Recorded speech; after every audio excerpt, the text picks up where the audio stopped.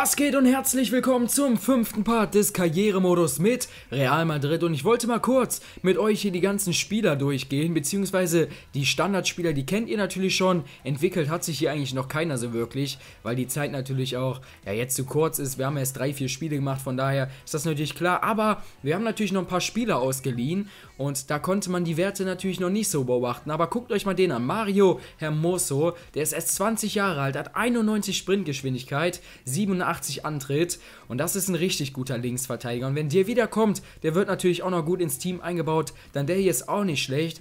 Jesus Vallejo oder so, keine Ahnung. 71 Stärke leider nur, aber 73 Sprintgeschwindigkeit. Mario Arsen, ne, Marco Arsenio heißt der. Der ist auch erst 19 Jahre alt, auch schon ein richtig guter Spieler. Also das heißt, noch ein paar junge Spieler, die sind schon ausgeliehen und die werden natürlich wiederkommen und dann auf jeden Fall noch das einige, ähm, ja, einiges an Potenzial mitbringen. Ich war auch am überlegen, hier den Spieler, und zwar Lucas Vasquez, der ist schon 24, ist jetzt meiner Meinung nach nicht der beste Spieler, hat jetzt ja, bei uns auch noch nie gespielt. Das heißt, ich kann ihn natürlich jetzt eigentlich auch nicht wirklich bewerten, aber ja, ich bin einfach dazu im Entschluss gekommen, dass wir den einfach auch mal, wenn ich auf, ach, zu Laie will ich das gar nicht, ich will ihn eigentlich äh, von Leihliste streichen, genau, und dann, ach, der ist erst kürzlich zum Verein gestoßen, das ist natürlich blöd, deswegen habe ich ihn auf der Leihliste.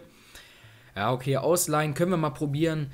Weil ich glaube einfach, dass er nicht wirklich so oft spielen wird, weil jetzt die ganzen jungen Spieler, die dazukommen, die werden natürlich dann Vorrang haben. Egal, wir starten jetzt erstmal ins Finale des American Cup. Wir können hier auch mit Inter Mailand spielen, was ist denn hier los? Keine Ahnung warum. Egal, wir nehmen auf jeden Fall mal hier die weißen Trikots. Die hatten wir, glaube ich, noch gar nicht irgendwie. Und Inter hier die klassischen ähm, blau-schwarzen. Dann gucken wir nochmal auf die Aufstellung. So, wir probieren einfach mal fürs Finale eine 4-4-2-Formation aus mit zwei Stürmern. Ist auch mal interessant und dann geben wir nochmal Benzema die Chance. Vorne im Sturm dann Benzema und Ronaldo rechts, Bale links, Jesse Rodriguez, ach Jesse Rodriguez, doch Jesse Rodriguez und hier im Mittelfeld Kovacic und Groß. Groß könnte auch nochmal raus und da könnten wir nochmal, ja wen könnten wir da mal die Chance geben? Ne, ich denke mal, Groß lassen wir drin, obwohl wir tun mal Modric rein, der muss auch noch ein bisschen spielen und dann kommt natürlich wieder Varan rein. Und ja, komm, Ramos müssen wir auch mal reintun. Pepe muss jetzt auch nochmal irgendwann spielen und Navas eigentlich auch. Denn so langsam werden die alle natürlich ein bisschen ungeduldig, das ist klar. Und ich denke mal, so ist das Ganze okay. Und würde ich sagen, starten wir ins Spiel. Los geht's. So, jetzt bin ich mal gespannt hier im Finale. Ihr wisst es wahrscheinlich noch, das Hinspiel ging ja 0 zu 0 aus. Das war echt ein richtig umkämpftes Spiel, aber so richtig ging nichts. Aber ich muss sagen, wir haben uns natürlich auch in den letzten Spielen noch ein bisschen weiterentwickelt. So langsam habe ich mich natürlich auch ans Team gewöhnt. Da vorne läuft doch schon Luka Modric. Das könnte die erste gute Möglichkeit geben. Wir versuchen es mal mit der Flanke. Die kommt richtig weit. Aber da stand Jesse Rodriguez direkt mal parat und hat ihn direkt mal hier schön Wolle genommen. Der Typ war für mich echt der Spieler der Vorbereitung. Ich weiß nicht, wie ihr das seht. Zusammen mit Varan und Abner. Das waren die drei besten, die mir irgendwie so aufgefallen sind in der Vorbereitung. So, jetzt wir versuchen es nochmal direkt. Komm, irgendwie schaffen wir hier den Start ins Spiel schon mal viel, viel besser. Ah, und der hindert uns hier nochmal gerade an der Ecke. Ich würde sagen, das machen wir hier einfach mal mit einem anderen Spieler, denn Luka Modric ist da eigentlich eher so der Spezialist. Ronaldo ist ja auch noch relativ kopfballstark. Komm, wir versuchen es mal hier. Die Ecke kommt relativ gut. Ah, der kommt wieder zurück und wir spielen ihn mal hier in den Hinterraum. Da ist Pepe, der neue Mann. Mal mit dem Schussversuch hier, aber... Ja, Pepe ist natürlich nicht der beste Torjäger, das wissen wir natürlich alle fast mit Benzema an den Ball. Inter Mailand hier echt immer beim Stopp mit ein paar Fehlern. Boah, Alter, außen nix. Kommt so ein Schuss von Perisic, aber Navas zeichnet sich da auch mal direkt aus. Aber, ja, ich weiß auch nicht. Cassia war meiner Meinung nach ein bisschen besser. Also das wird schwer für Navas. Vor allem, wenn da jetzt noch der neue Torwart Perin kommt. Nein, das war nicht gut gemacht. Das war echt nicht gut gemacht. Der Pass kam richtig scheiße, aber das hat Ronaldo wenigstens noch gut gemacht. Komm, Benzema. Versuchen mal hier vorbeizugehen. Es hat auch geklappt, aber der Torwart Handanovic ist natürlich auch ein richtig guter. Und den hält er hier wieder. Der hält echt den oh, Gegner hier im Spiel. Komm, Kovacic. Nein, das war nicht gut gemacht. Das war echt ein dummer Ballverlust jetzt hier von Kovacic. Komm, hol ihn dir wieder in der Seitenwechsel. Jesse Rodriguez, der hat, muss ich sagen, in diesem Spiel auch noch nicht viel gebracht. Jetzt vielleicht mal Abner. Komm, bring die Flanke rein. Bring die Flanke. Das kann nur abseits gewesen sein, oder? Ich weiß es nicht, ja. Das kann nur abseits gewesen sein, das war klar. Okay, da war Benzema ein bisschen zu früh reingelaufen, aber ich muss sagen, die Flanken von Abner, die kommen immer einfach so geil. Wir gucken mal kurz. Oh, das war, ja okay, war doch schon ein Meter oder so. Aber Ja, die Flanken von Abner sind echt immer richtig geil. Der bringt die richtig nice aufs Tor. Also, das, ich will nicht sagen, dass es Schwierigkeiten gibt für Marcello, aber ich glaube schon, weil Abner gefällt mir eigentlich richtig gut. Und dadurch, dass Marcello natürlich die Vorbereitung jetzt einfach gar nicht mitgespielt hat, ist es natürlich auch so eine Sache, ne? Komm, bring die schöne Flanke rein. Nein! Abner, schade. Egal mit rechts oder mit links, die Flanken kommen immer richtig gefährlich von dem, aber jetzt... Oh Mann, bekommt Lalic die Chance. Boah, jetzt zieht er natürlich dran. Und jetzt Pepe, komm. Wir müssen mal offensiv spielen hier. Ich weiß nicht, warum ich das nicht die ganze Zeit schon gemacht habe. Aber das geht hier, glaube ich, eh in die Hose. Oh, ist das Spiel vorbei? Okay, komm, eine Chance gibt es vielleicht noch. Wenn wir den Ball irgendwie schnell nach vorne bekommen. Nein, Abner, ist das dein Ernst? Ey, Mann, was ist das denn für ein Pass gewesen? Ich habe durchgezogen. Und eigentlich sollte der den Spieler schicken. Egal, da kann man jetzt nichts machen. Wir haben 1 zu 0 leider verloren, das Finale. Ja, okay, es war wirklich jetzt ein bisschen Pech dabei. Es war natürlich ganz allein meine Schuld. Diesen Pass hätte ich nicht spielen dürfen da vorne. Dann wäre es vielleicht in die Verlängerung gegangen. Naja, egal, da kann man jetzt nichts machen. Wir haben das Turnier leider doch nicht gewonnen. Ist egal, wir haben auf jeden Fall den ein oder anderen Spieler gut getestet. Und das war natürlich die Hauptsache. Und jetzt können wir dann endlich mal hauptsächlich hier zu den ganzen Transfers kommen.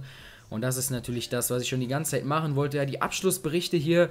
Anderlecht, Thielemanns, die wollen 19 Millionen haben. Das habe ich mir schon gedacht. Das war um FIFA 15 Karrieremodus so, dass die eigentlich 16, 17, 18 Millionen haben wollten. Aber der Typ, der wird sich so krass entwickeln, das sage ich euch. Und Austin hat akzeptiert, das heißt, nee, Augustin, was laber ich hier, Austin? Das heißt, wir können endlich mal den ersten Neuzugang ähm, fest bestätigen hier und direkt den zweiten hinterher. Und zwar Perin. Und es wird endlich Zeit. Und nach diesen ganzen Testspielen kriegen wir jetzt endlich mal die neuen Spieler. Kommt natürlich auch zum richtigen Zeitpunkt. Na egal, kann man nichts machen.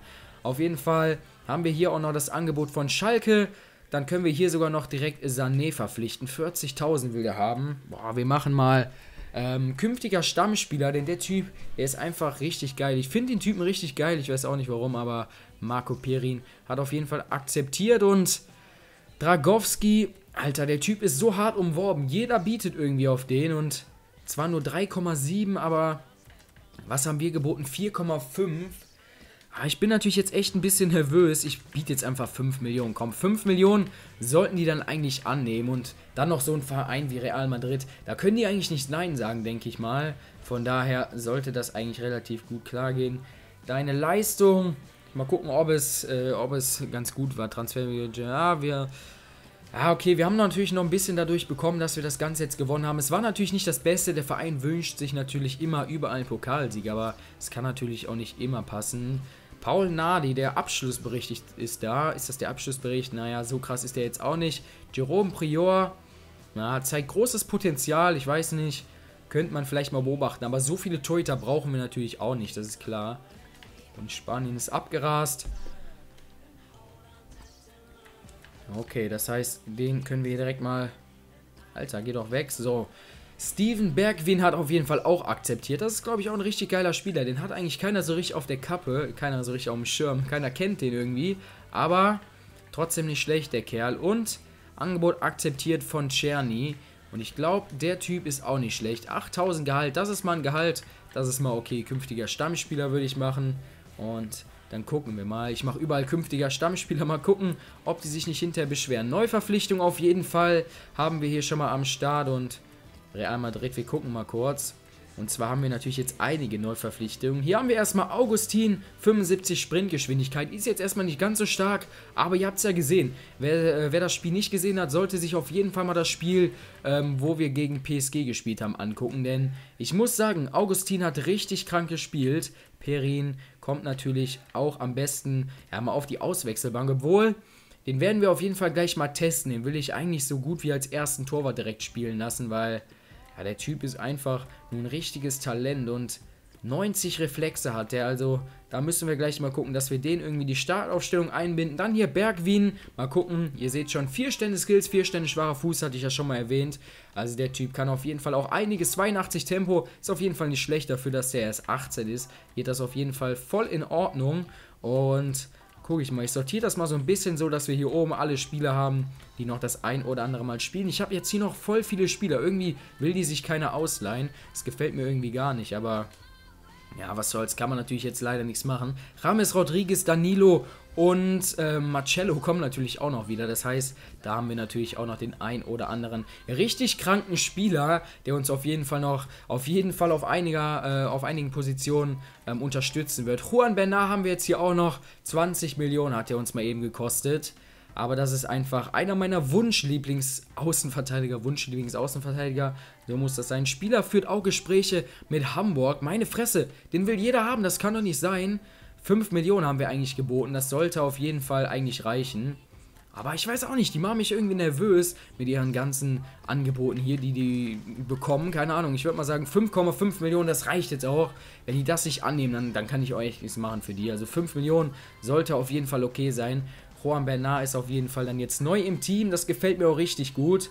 Und wir können auf jeden Fall gleich wieder trainieren. Das werden wir auch nochmal kurz machen. Jorge Meche, der will 3,5 Millionen haben. Alter, warum fordern die immer so viel? 3,2 Millionen, komm, das soll auch zufriedenstellend sein. 18 Jahre alt, auch ein wirklich guter Innenverteidiger, aber jetzt auch nicht der richtig krasseste. Suma 16 Millionen, aber ja komm, wir brauchen auf jeden Fall noch einen Innenverteidiger, beziehungsweise Nachwuchsinnenverteidiger. Und Suma ist da meiner Meinung nach der Beste. Sané hat auch schon mal akzeptiert, das heißt, da haben wir auf jeden Fall wieder einen neuen weiteren Jugendspieler. Und Embolot auch endlich mal akzeptiert. Für den haben wir einfach 16 Millionen auf den Tisch geblättert. Aber ich hoffe mal, dass er sich das auf jeden Fall nicht entgehen lässt, hier die Chance bei Real. Und endlich hat der Typ akzeptiert. Und jetzt bekommen wir diese ganzen Spieler nach der Vorbereitung. Ich verstehe es nicht. Egal, was soll's. Wir machen jetzt gleich mal das Training. Das darf ich nicht vergessen. Czerny hat auch auf jeden Fall akzeptiert. Nehmen wir natürlich auch direkt an. Und Gucken wir direkt mal hier, Geschäftsführer Anderlecht, Angebot akzeptiert. Thielemanns kommt also auch, Alter. Jetzt geht's echt Schlag auf Schlag. Wir bekommen gerade jeden Spieler. Das ist echt krass, künftiger Stammspieler. Obwohl, wir machen mal wichtiger Stammspieler, denn ich glaube, der will natürlich auch das ein oder andere Mal spielen. Das lässt er, glaube ich, auch nicht so auf sich sitzen. Langsam sind die ganzen Scouts fertig mit ihren ganzen Sachen. Da müssen wir gleich nochmal erneuern. Okay, wir müssen jetzt hier die Spieler sogar wieder neu hinzufügen. Ich würde sagen, ich mache das Ganze mal kurz und cutte das, damit ich mal hier die einzelnen Spieler hinzufügen kann. So, ihr seht schon, ich habe jetzt mal alle Jugendspieler hier reingetan und jetzt habe ich das Ganze auch gecheckt mit dem Blauen. Ihr seht hier, das Blaue bei Oedegaard ist, dass er sich schon ein bisschen entwickelt hat und das Gelbe ist, glaube ich, wie weit er sich noch entwickeln kann. Und Oedegaard war auch so der einzige Spieler, den ich bislang schon einmal trainieren lassen habe. Und ihr seht hier, Embolo ist also schon fast auf 77. Es geht jetzt relativ schnell. Vor allem hier hinten bei Fernandez und Sané, die sind schon fast auf dem nächsten Level, kann man sagen. Ich würde sagen, alles simulieren machen wir mal kurz, weil das Training ist jetzt nicht ganz so spannend. Ich denke mal, das wollen noch nicht alle so von euch sehen. Ich weiß noch nicht, was das ganze Trainingseinheit aufgebaut. Nächste Woche kann ich wieder eine neue Trainingseinheit machen. C, C, B, C, B oder so, keine Ahnung. Das heißt, glaube ich, auch, wie gut das Training war oder wie gut die das Training abgeschlossen haben. Ich muss auch, glaube ich, gucken, es gibt natürlich immer so Schwierigkeitsgrade, leicht, mittel und schwer. Ich glaube, ich darf die Spieler halt auch nicht zu krass überfordern. Das heißt, ich darf natürlich auch nicht bei den ganzen Jugendspielern direkt schwere Übungen nehmen, weil das, glaube ich, auch nicht so optimal ist. Mere kommt jetzt auch, Alter, der will 30.000, ist der denn krank? Meine Fresse, die Spanier, die ziehen ja auf jeden Fall gut Geld an. Wir gucken mal hier, künftiger Stammspieler, was gibt es denn hier? Sporadischer, künftiger Stammspieler, ist, denke ich mal, bei den Jugendspielern bei allen eigentlich angebracht. Chelsea hat akzeptiert. Zuma.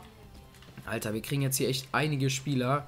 Und da müssen wir natürlich gucken, dass wir irgendwie überhaupt gleich noch genug Gehalt haben. Aber das sollte, denke ich mal, eigentlich passen. Und hier, Dragowski kommt zu uns. Gott sei Dank. Der Typ will auch schon 35.000. Das quasi für einen Ersatztorwart. Da werden wir mal gucken, dass wir den vielleicht direkt wieder verleihen werden, weil ja, ich kann natürlich auch nicht alle Spieler behalten, beziehungsweise ich kann natürlich auch, den hier werde ich wahrscheinlich auch nicht so oft spielen lassen können, weil ich natürlich jetzt auch drei richtig gute Torhüter habe, ist natürlich klar. Und ich will natürlich dann einige junge Spieler einfach schon mal verpflichten, um die halt wirklich dann halt weiter zu verleihen, das ist natürlich klar, darum geht es natürlich auch, Thielemanns kommt auch auf jeden Fall erstmal.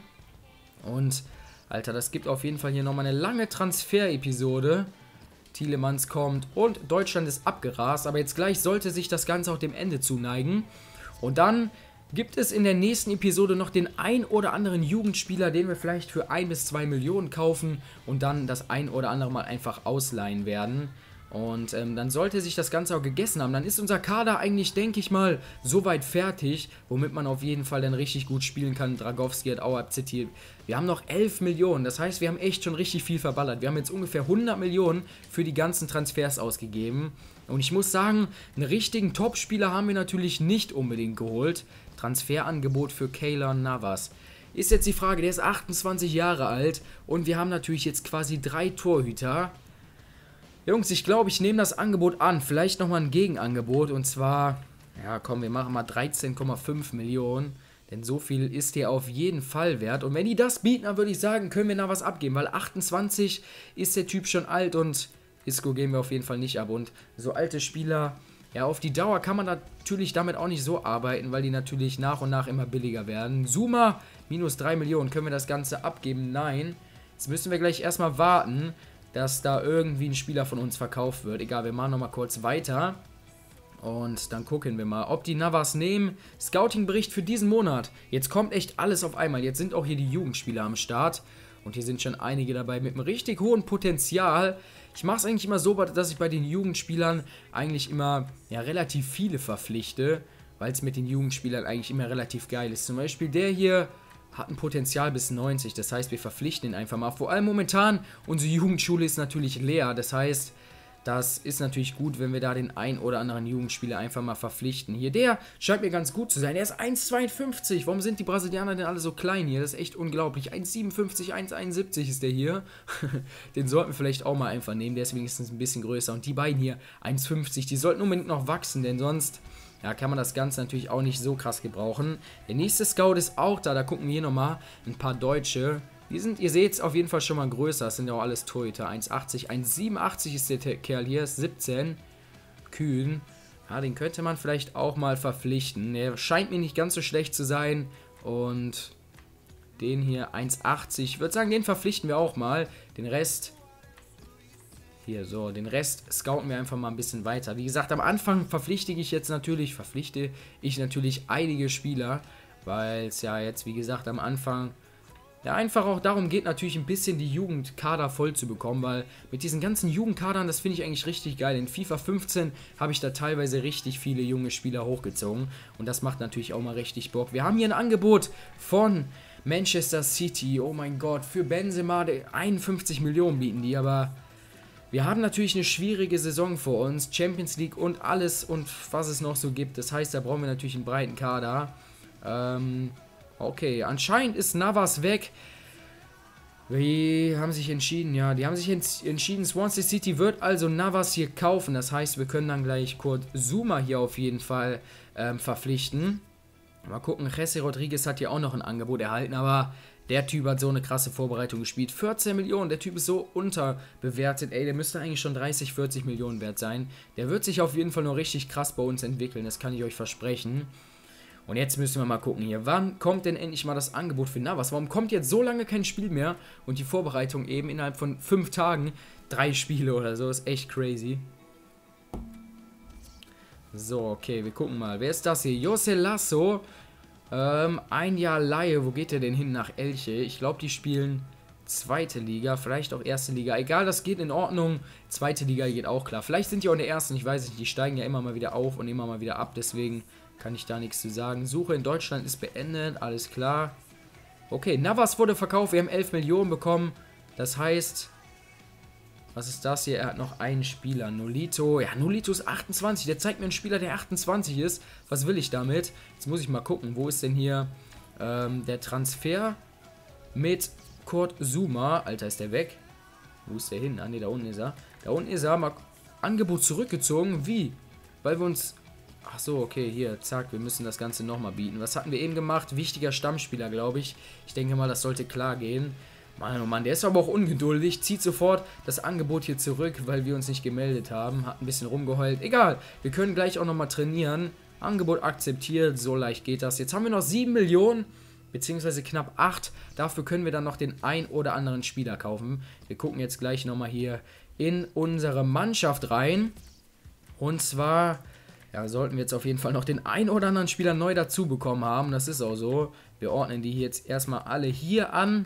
Zuma mit einem 77er Rating und der Typ hat einfach schon 77 Tempo. Das hat sich sowas von gelohnt, den zu holen. Embolo 87 Tempo, also das ist nicht schlecht. Dann hier dieser Dragowski. Mal gucken, also der wird, glaube ich, auch ein richtig guter Torwart sein. Dann haben wir noch Thielemanns oder Thielemont. 5 Sterne schwacher Fuß. So wie sich das gehört. Sané haben wir hier noch. Leider keine Forster-Skills. 86 Tempo, das geht auch klar. Da haben wir hier diesen guten Mere. 61 Tempo nur, aber ja, der kann sich auf jeden Fall noch entwickeln. Da bin ich mal gespannt. Dann haben wir hier noch diesen Czerny. Wie viel Tempo hat der? 83 hat der Skills. Leider nur 3, aber ich denke mal, das geht in Ordnung. Und sonst, ihr seht schon, wir haben jetzt 1, 2, 3, 4, 5, 6, 7, 8, 9, fast neun wirklich gute Jugendspieler dazu bekommen. Und hier haben wir natürlich auch noch ein paar Spieler. Wir werden auf jeden Fall in der nächsten Episode noch den ein oder anderen Jugendspieler direkt mal wieder ausleihen, weil wir haben jetzt mittlerweile so viele Spieler, die können wir halt nicht alle spielen lassen. Das war natürlich von vornherein klar. Aber ich will dann, wie gesagt, den ein oder anderen sichern sozusagen und dann wieder verleihen. Und ich würde sagen, dann sehen wir uns im nächsten Part wieder. Ich hoffe, es hat euch gefallen. Ich glaube, im nächsten Part müsste es dann auch mit dem Saisonstart anfangen. Macht's gut, lasst ein Like und ein Abo da. Macht's gut und ciao.